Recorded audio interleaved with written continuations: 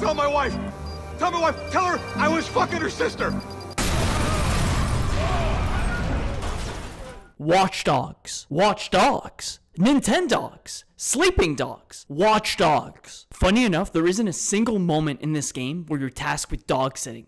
Our dog watchers for today are Aiden Pearce and Damien Brenks, who are in the lobby of the Merlaut Hotel in Chicago, hacking everyone's banking information. Something goes terribly wrong, and they can't break through the firewall for whatever reason. And you see that illustration right there of a woman? Memorize it, because it might be important for the story. The following day, Aiden is driving downtown Chicago, and he becomes the target of a drive-by shooting, resulting in the tragic death of his niece. The intro cutscene to the game ends, and it shows our character 11 months later interrogating the man who killed his niece in the Chicago Cubs locker room. We ask the assailant who asked him to put a hit on us, to which the man named Maurice tells us that he has no clue who their name is. So we knock him out and make our escape through the baseball stadium, and for good measure, we black out the whole Chicago Cubs stadium and escape. I'd like to see that one kid from American Pie throw a fastball now. As we're in our disgusting motel, Bad Boy 17, who's a member of our faction called DedSec, which is basically the anonymous equivalent of the Watchdog universe, and their goal is to expose widespread corruption with hacking. Our accomplice, Bad Boy 17, wants to meet with us in public,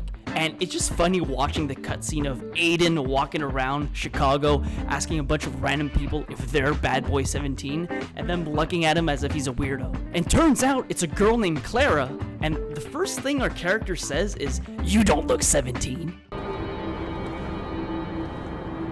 Look 17.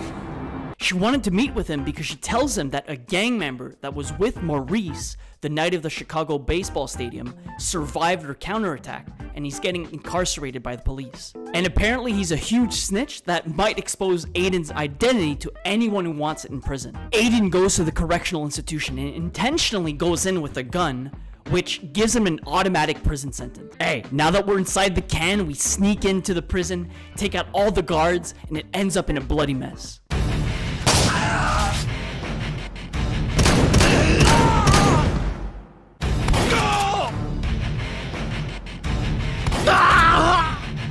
We finally meet up with the inmate and we threaten the gang member with an extended sentence if he reveals our identity with anyone in the prison. So you're in here for 60 days. What does that say? 60 years? What are you doing, man? I'm just showing you an alternate future.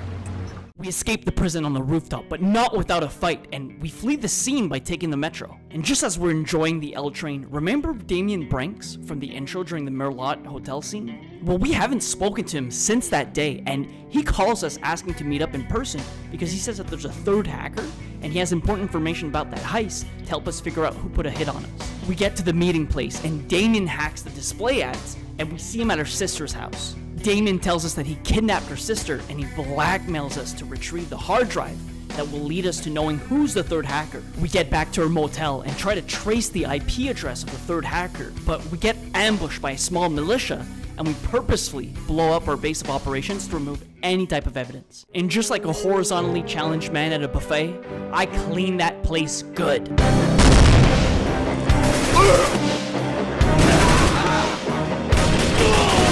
Now, having lost all of our progress in trying to find this third hacker, we meet up with Clara in front of an island in the middle of the map, and she says that we could use that island for our base of operations. So we do a bunch of parkour puzzles around the area, restore the power, and oh, how convenient, this island has a bunch of illegal tech that Claire and I can use to continue our mission. And after doing a little bit of research, we get a promising lead and get a signal in a horrible Section 8 building. When looking through the live cameras, we identify a man named Iraq. And yes, just like the country and also just like the slang term used for, you know, Chiraq, which is kind of funny. Clara tells us that she can use a copy from his chip if we get close to him. We find out that Iraq is going to host an illegal auction for female sex trafficking slaves, which, to be honest, this part of the game is pretty graphic.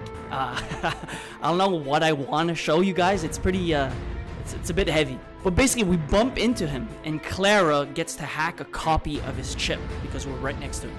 Once we have the chip, we go into the Section 8 building and shoot our way through the old Block condominium complex. And then we get to the top floor, we use the RFID chip, and download the files in the server room. As we're trying to escape with all the information that we downloaded, we bump into Iraq, and he reveals to us that he was the third hacker. And then we get into a weird boss fight with him on the rooftop of the building. And just like the ending of GTA Vice City, this was the, last, dance, for Lance Vance. You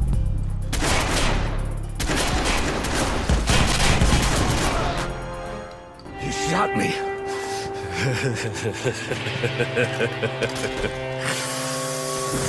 you shot me pretty good.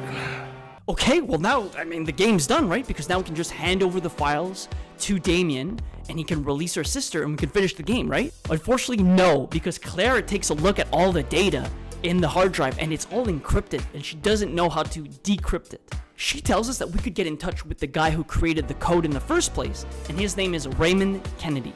But this guy's last ping was a couple years ago in the small fishing town of Pawnee. But that's fine, so we make our way to the little small village of Pawnee, and we visit the local bar asking a bunch of people if they've heard of Kennedy. And one guy invites me to a drinking minigame, going shot for shot to see who can black out first. And when he says his name, he just goes ahead and beats us and says, Yeah, you've been looking at the person that you're looking for. And we end up telling our story, and he says that he's gonna help us if I can do a simple task of killing a militia that's after him. You see, Kennedy worked for a company that created the code that's encrypted, and he knew how powerful the code could be. And he wanted the company that he worked for to stop using the code that he created for the company. So he obviously got fired and became a whistleblower, and we all know what happens to whistleblowers. So after spending a couple hours wiping out the whole militia that his old company hired to kill him, he calls us to thank us and he's on board with us decrypting Iraq's data. So we bring him back to the island, we let him meet Clara, and just as he's trying to reinstate the data, we get hacked by a DJ named Defalt, and he steals all of our data from the hard drive. Well, it just so happens that this wannabe Deadmau5 guy has a big set playing downtown Chicago. Also, a big mechanic throughout the game is that we can use our phone to know people's names, their income, their personality traits, which some are funny, some are weird, and some are downright sad. And as we're walking through the club, Defalt did something where all the NPCs are making fun of us. So we go full hacker mode and hack the club's mainframe. And call me Karen the way I shut down the whole party. Deadmau5 takes off into his car and we go ahead and chase him, it's not too difficult to find him just because his whole car is decked out with those streamer leaf LEDs thingies that make him super easy to spot. Once we collected the data from him, we ram into him and then we gun him down with an ACR. Finally, Kennedy helps us find the location of our sister. Oh, and call me the landscaper the way I be mowing down all my enemies.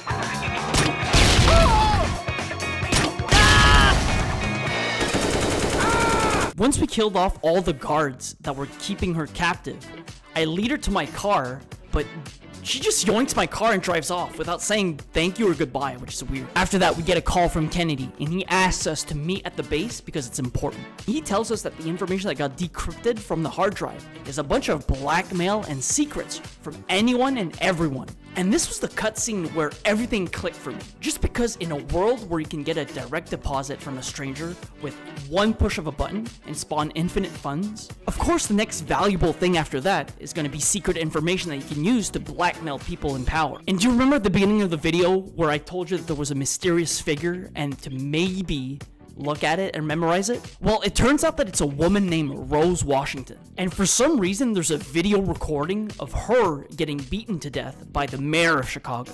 Kennedy tells us that there's an old boomer named Quinn who's the biggest mob boss in Chicago. Which is kind of weird because we meet him a couple of times in the game when we're doing a bunch of side missions, and it just so happens that he owns the Merlaut Hotel that we tried to heist at the beginning of the game. So you can kind of see where we're getting at. Quinn used the video as blackmail to control the city of Chicago. And Iraq, the third hacker that was working with Quinn, thought that we had access to the full video during the heist. But we didn't. We didn't. We, we just had access to like a little blurb. So the mob boss, Quinn, that owns the hotel, he's the one that ordered a hit on us, which killed our niece. So we go back to where everything started, and I'm coming out with vengeance and shoot all the guards. Now, face to face with Mr. Quinn, who barricaded himself in a bulletproof room, we hack his pacemaker, which I had no clue what it is, but that's what it looks like. And he dies, which is a very uneventful death. Aiden being a member of DedSec, whose mission on the Wikipedia says that their goal is to expose corruption in the common world. So he does what he thinks is morally correct by DedSec's mission statement. And he posts the whole hard drive to Reddit, 4chan, Onion Black Market torrents, everywhere. Now, everyone from the mayor to the police chief, XQC, even your mom is getting cancelled on Twitter because everyone knows everyone's dirty secrets. Damon calls us and he's really mad because he kidnapped her sister to hand over the hard drive. And now that it's within the public, I mean, it's useless now. He, he doesn't have all that information.